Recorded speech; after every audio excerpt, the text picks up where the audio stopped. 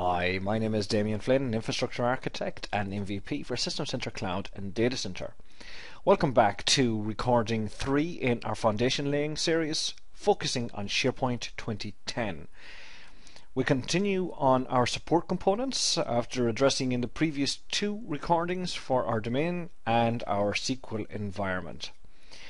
This time we install our SharePoint server, which is going to be utilized for hosting our portals and for our web dashboards through Operations Manager, Configuration Manager, and Service Manager. And to get the prerequisites sorted for this new server, uh, we are lucky enough to have a utility provided as part of the SharePoint installer, which will grab directly from the Microsoft site each of the modules and components needed, download those, and install them on our behalf. The only requirement that you have is a good broadband, some patience, and a cup of coffee. I've speeded up the recording for brevity and time's sake so that we don't have to wait through this uh, process, but set yourself away probably 15 or 20 minutes for this to complete itself naturally.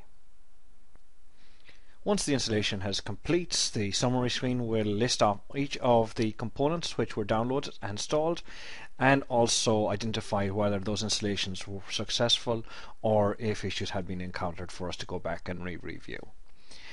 Now we can proceed with the actual installation of our SharePoint software and uh, launching the installation wizard we are initially greeted with the requirements to provide a product key.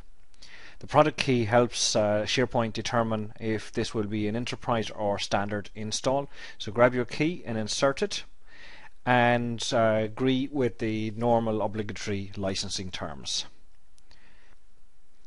The next step on the installation wizard is to determine whether we're deploying a server farm or a standalone. I could have chosen a server farm which would also allow me to install a single server environment with the additional option of selecting which SQL server to use.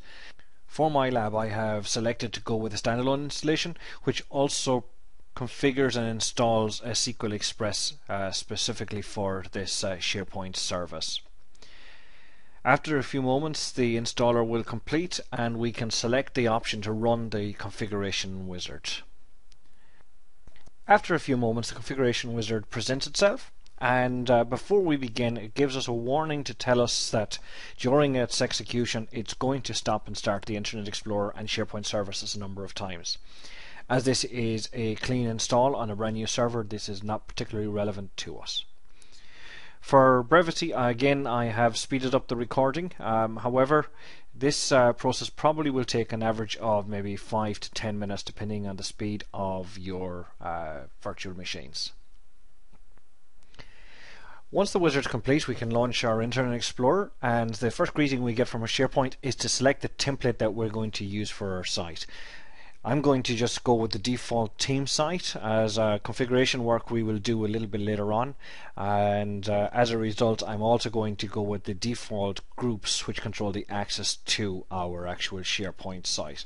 Modifying these as you like will allow you to control who has uh, visitor, editor and uh, configuration permissions over your SharePoint site. Great, we're almost there. With SharePoint now installed and working, we can focus on applying the last of the updates to the environment, including uh, Service Pack 1 for SharePoint 2010.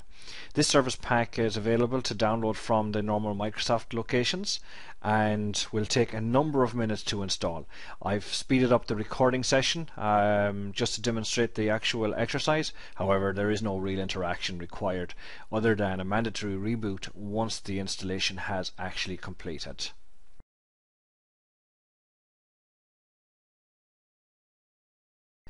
After our server has completed its reboot cycle, we can launch our browser and visit our brand new SharePoint site. Investigating uh, different areas within the site, including my settings to get information about the user account that has access, and much more interestingly, on the site actions where we can validate how to relay out and add additional functionality to the site. One of the first things that will become apparent to us is the rich interface available uh, utilizing Microsoft's uh, Share Silverlight. So we'll go ahead and install the Silverlight runtimes uh, to in After Silverlight's installed, we can go back, relaunch our web browser, and uh, this time around, if we head back to the site actions, take a look at the uh, more options, the layout is completely different with a much more rich experience. We'll spend more time in SharePoint later on, um, but for now, you've completed the third part of our library for building the foundation for the Microsoft System Center 2012 environment and the private cloud. Thank you. Hope you've enjoyed this movie, and we will meet you again as we start on the main stack for System Center.